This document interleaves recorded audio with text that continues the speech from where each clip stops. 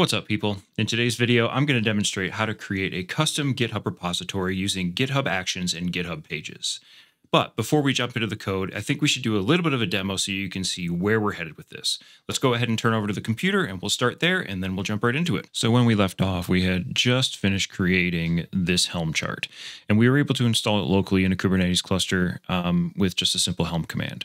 In today's video, we're going to take it one step further and we're going to automate the packaging of this Helm chart and push it up to a Helm chart repository. So here's the example Helm chart. And if you want to see how this chart was built or how this whole application was built, uh, we'll put a card at the top of the screen and link in the description below to the entire tutorial where you can learn how this is all done. You can see here that what we're going to be doing is we're going to be tagging this uh, this example repo with a version number and then pushing that tag. This will be version 1.1.1.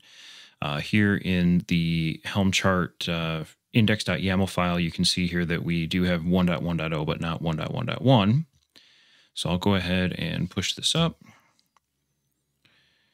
All right, that's completed. And then if we go look at the actions page on this uh, on this repo, you can see that it's kicked off the action on tag here. And this is going to go ahead and build the Docker container, and it will tag that Docker container as 1.1.1. It'll also package the Helm chart and version that version of the Helm chart to 1.1.1. So that way you can install the entire thing and make sure you're, you're using the exact same version number across the entire system. And getting this version control to work was a little more challenging than I initially expected. The out of the box GitHub action that you can use for pushing a Helm chart doesn't actually support this. So I'll get into that a little bit later, but I had to make some customizations to this and I'm going to submit that. And I'm going to submit that back to the project and see if they're willing to accept it as a change to make this a little bit easier for everyone moving forward. Okay, that's finished. So let's go ahead and switch back over. Now, if I refresh this index file, you'll see here that now we do have version 1.1.1 and you'll be able to install it that way. So let me go ahead and install this now. First thing we're going to do is run Helm repo update. So it pulls down those most recent changes that we just completed, and then we'll run an upgrade. All right, and that's all there is to it. So let's go ahead and jump into the code and I'll show you how we get this done. The first part of this video is going to start out with the chart releaser action that's actually released by Helm.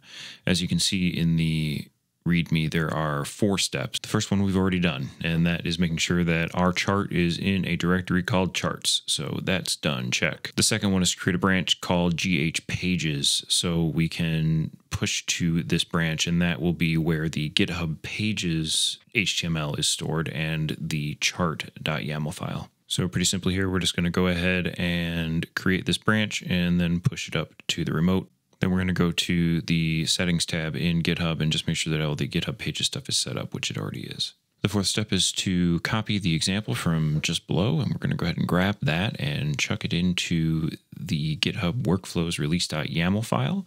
And that's going to be about where we stop by following the instructions in this repo. Because as you're about to see, and as past me learned the hard way, the GitHub action that's released by Helm itself uh, doesn't work well with tags. Uh, you're going to see here, I'm going to go ahead and tag this and push it up, and the whole thing is going to fall on its face. So two things happen here right off the bat. First off, Helm release goes green in four seconds, which immediately tells me that something's not right. Second, the Docker step goes red, and that that one's easy to fix because I just deactivated the API key I was using earlier in the demo, so I'll reactivate that one.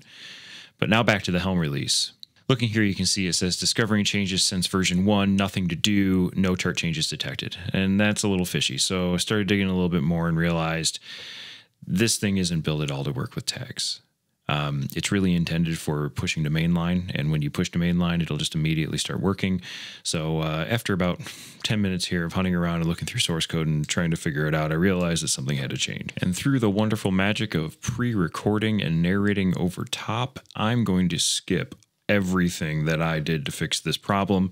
I'll make another video about it. If you're interested in seeing it, then just subscribe to the channel and it'll be the next one that comes out. It'll be a video about contributing to an open source project because that's what I did. So for right now, as far as this uh, walkthrough is concerned, if you're following along from the beginning and you've pasted in the example from the chart releaser page like I did earlier on, just go ahead and change the line for uses to my fork, which is typed out there on the screen. And then you can follow along with the rest of the video and just know that my fork actually supports the functionality that we're looking for. Um, obviously, I'd recommend that you take a look at the code change that I made, and I'll put a link in the description. You should always review any kind of open source change that you're pulling into your project to make sure that it is safe. Part of the change that I made was I introduced an additional variable here that is called skip packaging. So essentially, you put with and then skip packaging equals true on the next line down. And what that's going to do is make it so the chart releaser does not do the packaging step. And then we're going to go just above and we are going to create a custom packaging step, which allows this to get packaged on tag and used the and use the tag that we've created. For the next step, I'm just grabbing a few lines from the original cr.sh, which is in the chart releaser package and dropping those in. What this does is it clears out the .cr release packages directory which is essentially the artifacts directory that is that where all the information is stored. So we're going to remove the CR release packages and then we're going to create fresh that directory. Next, we're going to use the helm package command to package our Helm chart and apply the app version and the version flags. Uh, these two flags will be populated in just a second here with the actual version numbers of the tag that we create when we push it up.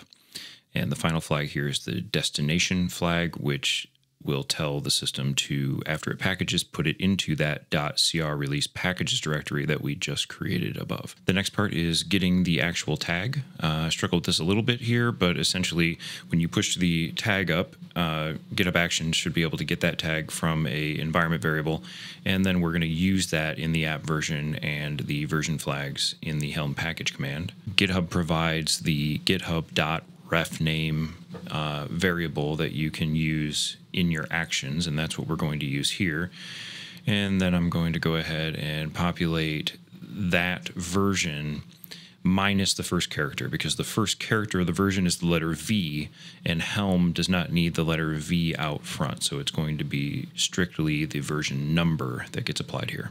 All right, then we're going to go ahead and push these changes up, and then we're going to apply a tag here just to try it out, and then push that tag up to the remote, and go ahead and switch over to GitHub Actions and take a look at the action running and make sure everything works correctly. And that is exactly what we were looking for. This ran through the entire thing. It applied the tag to the Helm chart, and finally, it's still working on the Docker step, but we'll push the Docker container up using the same exact version, and then move everything to the GH pages branch, which houses all of the GitHub pages information, including the index.yaml, which is what's needed for pulling down a Helm chart from a Helm chart repository. So here's the index.yaml in GitHub. And you can see here that the version applied and it shows up here in the file. And if I actually go to the pages that GitHub pages generated and I go to index.yaml, you'll see that the index prints out here as well. All right, now just to prove that this thing works, I'm gonna go ahead and make a change to the application itself in the YouTube handler. And we're just gonna add some junk data here to the REST API response that we created earlier. All right, now we'll save those changes and we'll go ahead and push these changes up to mainline. And now we're going to go ahead and uh, add a new tag and then push that tag. If you've been following along in this tutorial, we created a custom values.yaml file, which is uh, not stored in this repo. It's where you keep your secrets and things. Make sure that you go and remove the one line about pinning the tag of the container to latest. Uh, that will make all make sure all of this works. All right, let's go ahead and take a look at the GitHub Actions uh, tab here, and we'll see that this is building our new tag version 1.1.0. Our custom packaging step that we built earlier successfully packaged the chart. All right, both steps are complete, so it should be ready to go. Now we'll update the Helm repo. So locally on my machine here, it pulls down the most recent version of that index.yaml file, and then we'll run the Helm upgrade command. All right, the upgrade is complete. Now, if we go ahead and take a look at the Kubernetes cluster, you can see that it terminated the previous version and installed the new version of the app. Then we can go ahead and open up the browser and hit refresh and see that our change to the API has appeared. And there it is. All right, I'll go ahead and leave it there. See you all in the next one.